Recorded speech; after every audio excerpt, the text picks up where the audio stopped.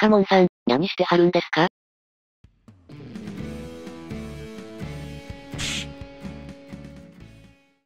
ナインティナインは第4世代のお笑い芸人と呼ばれています。この世代のお話は割と最近言われ始めたことではありますが、この世代という概念からナインティナインを見ていこうと思います。そして、個人的に共通点があるなということで、声優さんの世代とも比較しながら見ていきたいと思います。この世代という考え方は、後に出てきますが、曖昧なところがあるのが悪い点かもしれません。しかしそれ以上に良い点としては、好きな芸人さんの上下の流れがわかると、立体的な相関図とかも想像できるようになって結構面白い点があります。区切ってチームみたいにすると、その世代のカラーなんかもわかりやすいですし、あとネタとして擦れそうですよね。ネタ発言やめ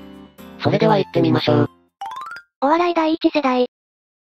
まず押さえておきたいのがテレビの歴史。1953年に NHK 日本テレビが開局。カラーテレビは1964年に普及率が高まった。このテレビ業界では、1962年頃から1969年頃まで続いた演芸ブームがありました。イメージしやすく、現在でも続く番組では焦点があります。背景としては、テレビを見る視聴者も、景気が後退していってドヨンとしていた時期で、テレビに笑いを求めていた時期だったようです。加えて、作り手としても、制作費がそこまでかからなかったことから、需要と供給が噛み合ったと言えますね。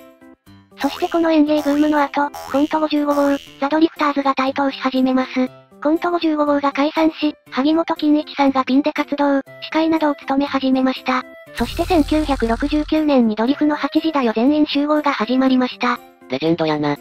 お笑い第一世代、つまり最初のお笑いの勢力はこことされており、萩本欽一さん、ドリフの圧倒的に今日が長く続きました。そして大事なこととして、この世代論に関しては、明確な定義があるわけでもなく、これが答え、というものがあるわけではありません。こういう説が今のところ濃厚、くらいに考えていただけるとちょうどいいかもしれないです。ちなみに、お笑い第一世代という言い方ができてきたのは、この後1980年代の後半以降のようです。先にお笑い第三世代という概念ができた後、振り返って第一世代と呼ばれるようになったようです。初代ドラクエが、振り返ってドラクエ1と呼ばれるようなもんやな。歴史ができたからこその最初、ということやな。個人的には全てのシリーズが繋がっている気がしています。何が？あ、ドラクエの話？そしてジェシカはけしからんと思います。いや、いい意味でですよ。ありがとう。ドラクエの話はもうええねん。けしからんのはお前じゃ、何やありがとうって。その他、現在でも活躍する桂三枝さんや、伊藤四郎さんなども第一世代になります。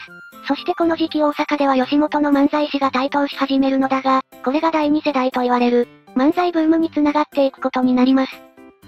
そしてテレビが普及された創世期から、アニメや吹き替えなどの声優の仕事も増え始めます。ペコパさんらが担当していた番組、声優パーク建設計画 VR 部で作られていた声優の世代表では、声優第一世代には初代ルパンの山田康夫さんや、ドラゴンボールで現在も悟空の声を当てている野沢雅子さんなどが挙げられるようです。この時期の映画の吹き替えなんかは、生放送のようなアフレコのスタイルだったらしく、一度と散ったらそのまま流れてしまうという、緊張感の塊魂みたいなライブ感だったようです。塊魂。守さん元気かな？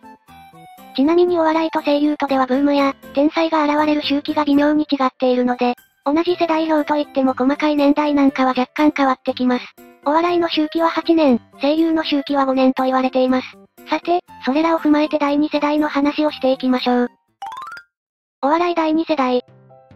お笑いの第2世代は大体1970年代にデビューした芸人さんを指すことが多く、東京においては、小劇場などでの笑いが生まれつつあった。自身でネタを作る芸人さんや、ラジオのハガキ職人から放送作家になる人も増えていきました。第2世代を考えた時に、まず挙げられるのが、ビートたけしさん、タモリさん、明石家さんまさんの3人が挙げられます。ビッグ3やな。そう、この3人が第2世代の中核であることはまず間違いなく、俺たちひょうきん族や笑っていいともが始まった時期でもあります。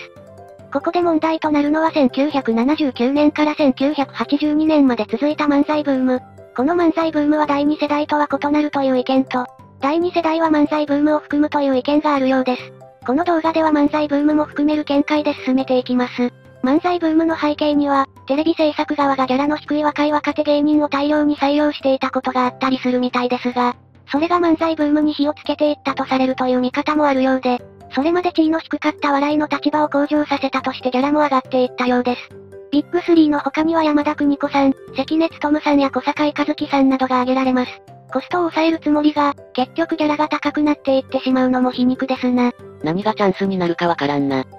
そして声優第2世代には、ドラゴンボールのピッコロやワンピースのエース役の古川敏夫さん、北斗の剣のケンシロウ、シティハンターのサイバリョウ、名探偵コナン初代毛利小五郎の神谷明さん、ワンピースのルフィやドラゴンボールのクリリン、ラピュタのパズー役の田中真由美さん、ドラゴンボールのベジータ、名探偵コナン、せやかて駆動の服部平次役の堀川亮さんなどが挙げられる。今の大御所たる存在ですな。お笑い、声優界ともに、現在業界を牽引している方たちは第2世代が多いですね。逆に現役の第一世代である野沢雅子さんとかすげえな。余談ですが、アニメ実写化には大して期待していないけど、鈴木亮平さんのシティハンターだけはすごく見たい。本当に余談だな。今回紹介していった第1、第2世代の話は、主が生まれる全然前のことなので、調べたことが間違っている可能性も否定できません。正しくはこうだぜというのがありましたら、コメントしていただけるとありがたいです。その他のコメントもお待ちしています。動画が悪くねえなと思ったら高評価なんかもつけてくれると、生きる気力がみなぎりマックスです。次回は第3世代や第4世代をじっくり見ていこうと思いますので、チャンネル登録してお待ちいただけると幸いです。それではまた次回。またね。